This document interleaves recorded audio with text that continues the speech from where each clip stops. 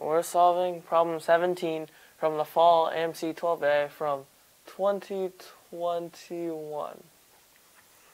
For how many orders ordered pairs B of B and C of positive integers does neither x squared plus b plus c equals 0 nor x squared plus cx plus b equals 0 have two distinct real solutions?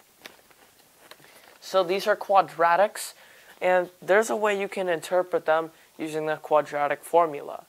Now, there's the square root on the numerator. That is called the delta x. If it is greater than 0, it has two solutions. If it is equal to 0, it has one. Um, but And if it's less than 0, it has none. So you want it to have, you do not want it to have two solutions, so either 1 or 0 solutions. So let's derive this first case.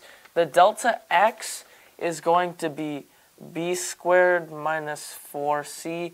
This has to be less than or equal to 0. And you can derive that this here, c squared minus 4b, is also less than or equal to 0.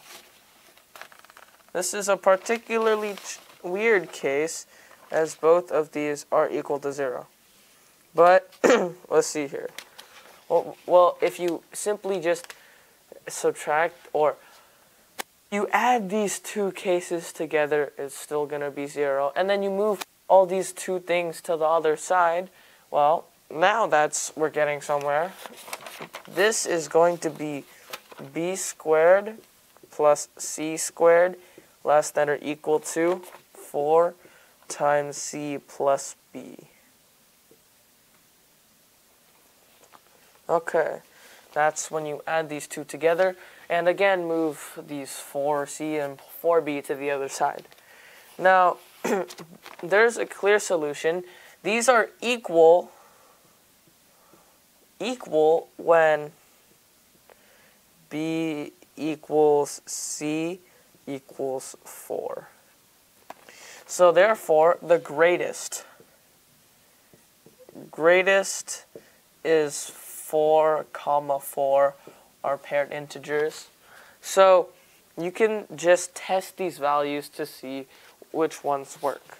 So I'm just going to list them out. There's 1 comma 1, 2 comma 1, 1 comma 2 as you can switch these around 2 comma 2 3 comma 3 and lastly 4 comma 4 when you uh, count all these up you get that this will have six solutions for this problem